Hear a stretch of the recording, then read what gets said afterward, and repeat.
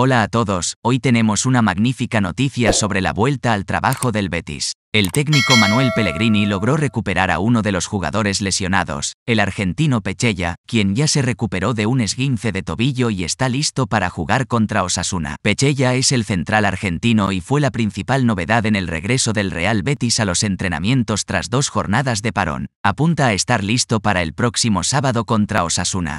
El jugador sufrió un esguince de tobillo en el duelo de hace dos días ante el Cádiz y por tanto se perdió el choque con el español. Sin embargo, este martes hizo un entrenamiento con el grupo.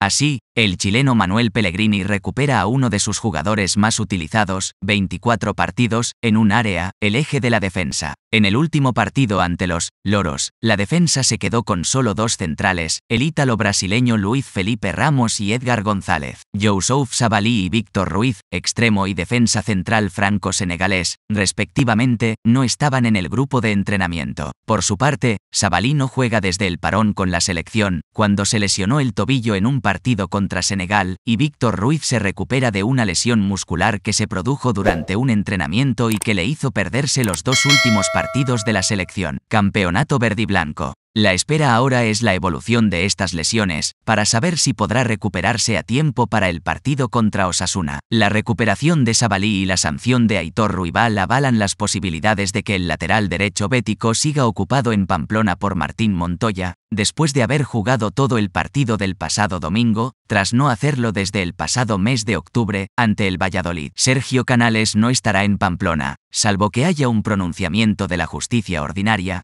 ya que el Tribunal Administrativo del Deporte, TAD, confirmó los tres partidos de sanción que le quedan por cumplir de los cuatro que le impusieron algunas declaraciones sobre el colegiado Antonio Miguel Mateu Laoz. El Betis afronta ahora una fase decisiva de la temporada, ocupando la quinta plaza con 48 puntos, a tres de las plazas de Champions que ocupa la Real Sociedad, su próximo rival en el Villamarín dentro de dos jornadas. La diferencia entre Betis y Villarreal y Athletic de Bilbao es de 1 y 5 puntos respectivamente. La disputa por la mayor cantidad de puntos es fundamental en este tramo decisivo de la temporada.